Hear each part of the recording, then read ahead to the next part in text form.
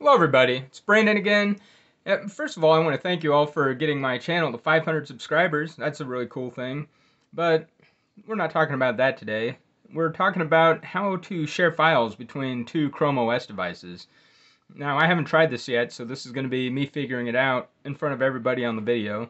And I'm recording it from the phone because, as you're going to see in a second, I'm going to try to test the sharing between a Chrome OS Flex laptop that I have set up, my Asus L210M, and a actual Chromebook, the Lenovo Chromebook 10e.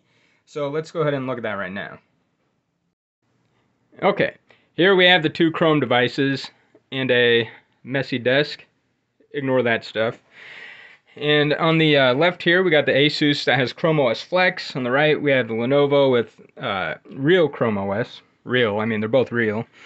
So anyway, what I want to do here, I if you, first if you go to the notification center, there's this uh, nearby visibility thing, and it I guess defaults to off. What I want to do is turn that on on both devices here.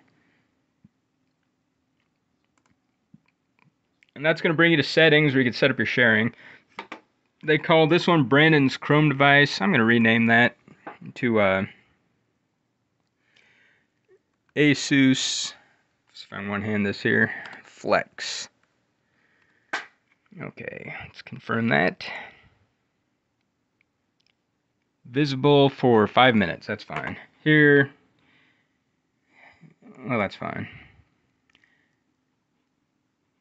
Select who you can share with. Yeah, why not? All contacts, confirm. The process is a little different on both of them. Okay, so I don't know what the deal is. They both kind of have me on a screen like this. Now if I go to files, I thought there would be some way in here to see the other ones to share with, right? Let's take my file. Maybe I right click on it and say share. What'll that do? Nearby share. Searching for nearby devices. Oh, they found my Chromebook. I'll click on that. Oh, something interesting. I'm recording on an Android phone and something just popped up, so I think I could have shared to my phone if I would have responded to that notification. So that's neat. So I'm going to say that, and next, and see what it does. Oh, I'll accept.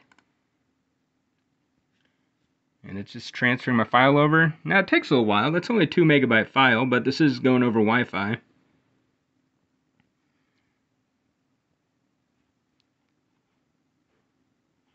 But anyway, it's sent.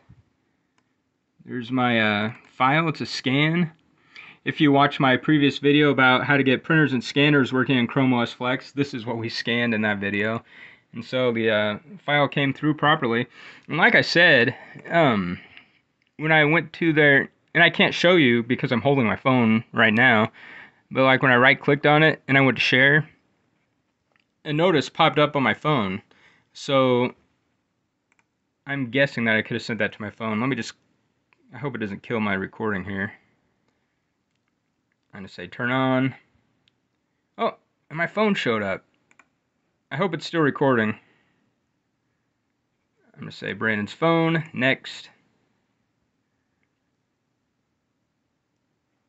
Okay, I'm accepting that. Now, alright, my phone says it's getting something from Asus Flex. So that's pretty cool on Chrome OS. You can uh, easily send something to your phone. And I'll bet on the phone I can send something to my Chromebook. But uh, I don't want to totally quit the camera app while I'm recording. So my file's almost done here. Alright, looks like it's sent. Very cool. Um, Alright. So anyway, we tried something today and we learned something today. Um, it's pretty easy to send files from one Chromebook to another and it's easy to send files from a Chromebook to a phone. And I suspect it's also easy to send something from a phone to a Chromebook, of course as long as it's Android. I doubt this just works on an iPhone. But anyway, I thought that's neat. Um, I also talked about in another video how you can set up sharing on Windows to access Windows files from a Chrome OS. So you can find that on the channel. And so, yeah, I think this is a cool feature. Works on regular Chrome OS or Chrome OS Flex. So if you like that, go ahead and like the video. Go ahead and subscribe. if you want. Speaking of subscribing, like I said earlier, we have 500 subscribers.